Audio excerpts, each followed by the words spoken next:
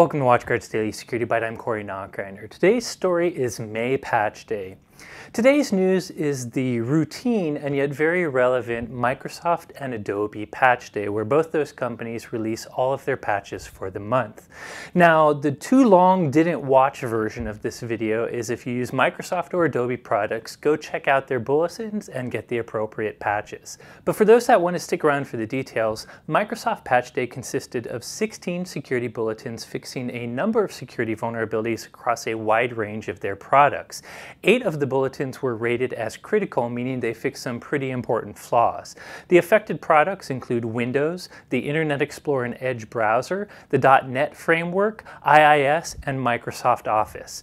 Now, it's not really worth going into every vulnerability in detail. Just know the critical vulnerabilities, and even some of the important ones, fix a lot of remote code execution flaws. So flaws where if a user visits a website or downloads an Office document, that may be enough for the attacker to exploit the flaw and execute code on that user's system, gaining control of it.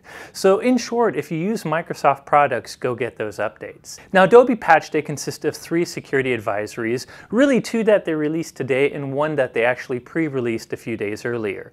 The one they pre-released fixes a number of flaws in Adobe Acrobat and Reader. Many people use Reader and this fixes a ton of flaws, so if you use Reader you definitely need a patch. Another update fixes ColdFusion vulnerabilities, which is their web application server, but a very important update is actually their Flash update.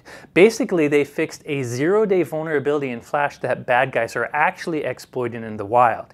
And by the way, this is kind of a pre-advisory. I think the true update for Flash won't come out till May 12th, but it's a pretty important update, so be sure to get it if you use Adobe Flash. Long story short, as I said before, if you use Microsoft or Adobe products, go get the relevant updates. Now, like I said, patch day is quite routine, but it is still very important important. Realize that patching is one of the most relevant things you can do to actually increase your overall security stance. Many of the vulnerabilities out there leverage already patched issues, so be sure to apply these updates. That's it for today's story. Thank you for watching.